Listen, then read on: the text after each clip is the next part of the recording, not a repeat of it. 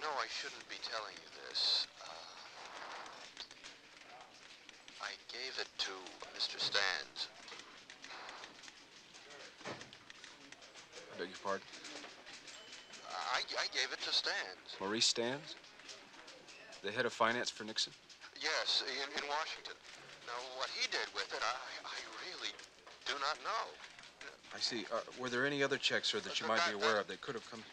That, that's, that's all I, I had to say. Mr. McGregor.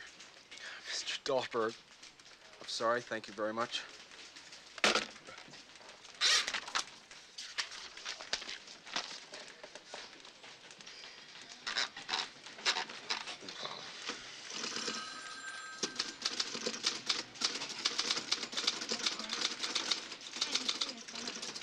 Bob, Yeah.